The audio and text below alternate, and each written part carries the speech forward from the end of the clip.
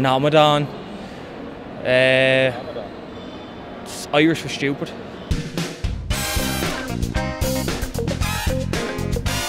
You mess up, you're a gobshite. Yeah, it's like someone who does something wrong, you just call them a gobshite. I don't know if someone skipped in a queue or something, they call them a gobshite. It's a word that never made sense to me when you look at like the word gob and shite. They don't go together to make a stupid person, but Like if your mate's a gobshite, he's just a gobshite. But like if somebody don't like a gobshite, that's that's a bad thing.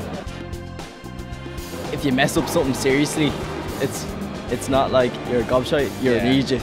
Like, like your mom would call you an eejit for leaving the door open or something. an idiot I'd say is more serious. Like, it was a gobshite. Ah, you're only a gobshite. Like, it's. Or he's a harmless. I was gobshite. Like, he's. It wouldn't be as serious as an idiot, like, I wouldn't say. Never heard of that don't one. even know what that is. Never heard of that one. What is a gowl? Or some gowl?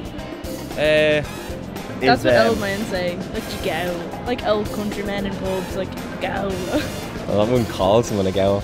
A gal is what you'd call a girl. I don't know what someone would really call it. E-bag. That's him.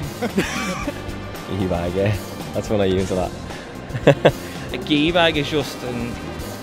An awful thing to be, really. Like, A lady, lady parts. A lady part. Lady parts. You're just a collection of it. You're not you're not you're not one you're not one. You're a collection in a bag.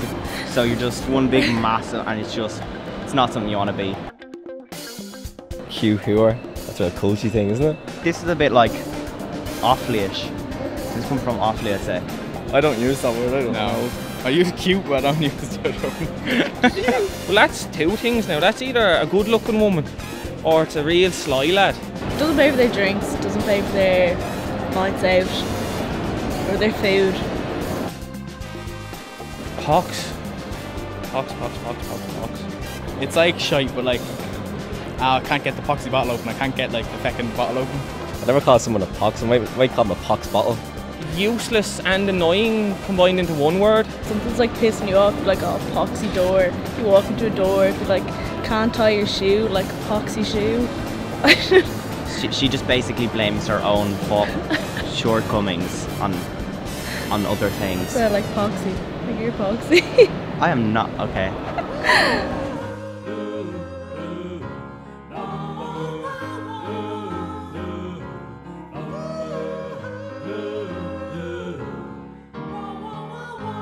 Uh, gobshy. I do love gobshy. It's a great word to use. I don't think a day goes by where I don't use the word gobshy, to be honest with you. It's a great way to insult someone and actually insult them without them getting offended.